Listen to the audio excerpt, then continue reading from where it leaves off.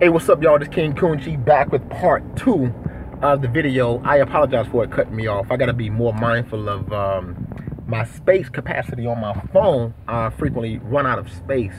Um, but like I was saying, man, you just got to really be careful with who you share your dreams, your goals, and your purpose for doing things because you have a lot of dream killers out there. You have like energy vampires just sucking the energy out of you.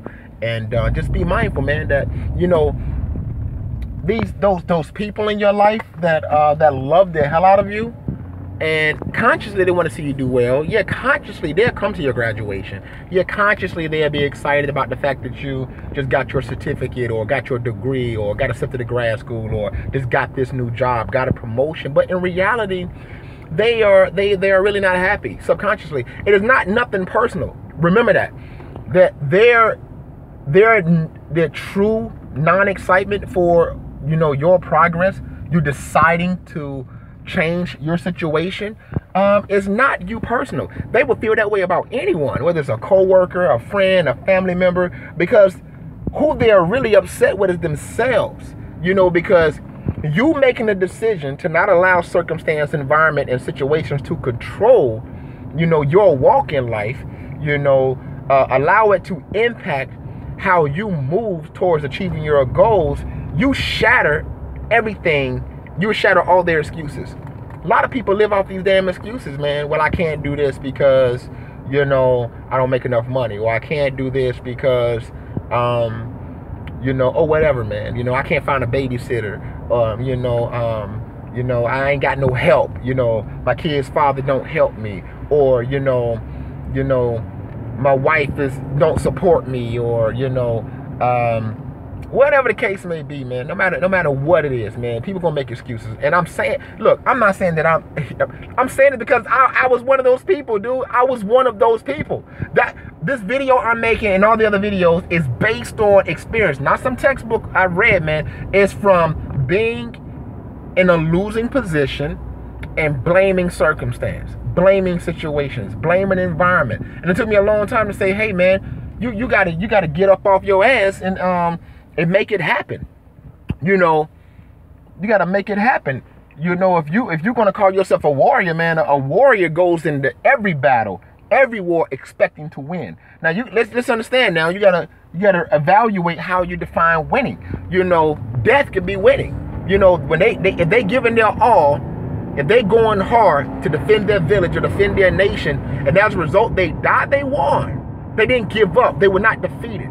They didn't allow the fact that the opposing army outnumbered them 10 to 1. They didn't they didn't care about the fact that like, you know, when the Native Americans were here, right? When the Europeans came to the came to the US and stole their land. You know, yeah, they was operating with bows and arrows and spears and um and um and tomahawks made with stone at the end. And and the Europeans had cannons. The Europeans had rifles and had swords, you know. So they didn't give a shit that, you know, they was outnumbered or give a shit that the artillery of their enemy was was more uh, advanced or superior. They didn't give a shit. They gave their all. Them jokers got on the back of a horse and went across that field, you know, uh, uh, doing their war chants. And some of them took bullets. Some of them died. Some of them did not. But you know, to them, they won. You know, because they said, you know what? I'm not going to accept defeat because I'm in a situation that appears to be uh, uh, unwinnable. You know what I'm saying? Never, never accept defeat. You know what I'm saying? But so you got to be mindful of the people that are in your circle. You know, you, you some people you just gotta love and be like, you know, I'm not gonna, I'm not gonna share shit. You just let them see. Don't, don't share shit. Just let them see. Let them see how you came out. Cause guess what? You may inspire them.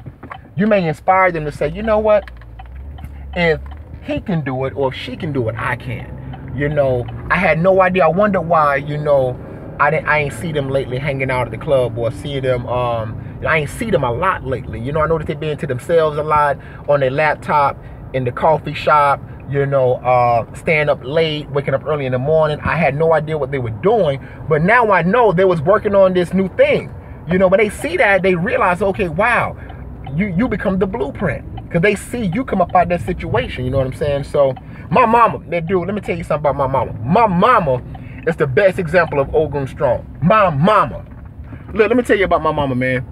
You know, I lived the first seven years of my life in Fayetteville, North Carolina. You know what I'm saying? My mom and uh, my mom was a single mom with two boys in the projects, uh, neighborhood called Groveview Terrace. We used to call it the court back in the day. I think it still is called the court. My mama, by two boys by herself. When she graduated high school, she was waiting tables. You know what I'm saying? You know, college education just something that run in my family. You know what I'm saying? So, you know, my family came with the whole, you know, you graduating, you go you go get a job. So she got a job waiting tables.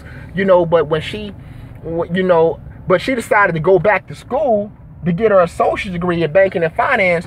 Man, my mom moved see the first job opportunity that came up, you know, in in Charlotte, North Carolina on a uh, on a temp job, fifteen thousand dollars a year. A temp job. She moved her boys in a new, you know, she had just married.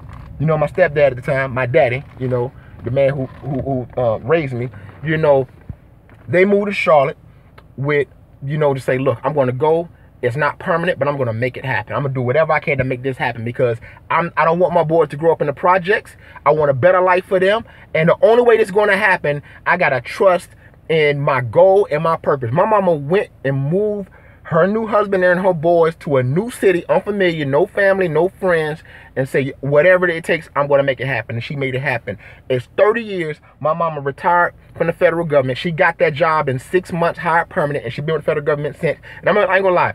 I got a damn bachelor's degree, almost complete with a master's, and my mom make three times more money than I do. Make me feel like I wasted a shitload of money on loans. You know what I'm saying?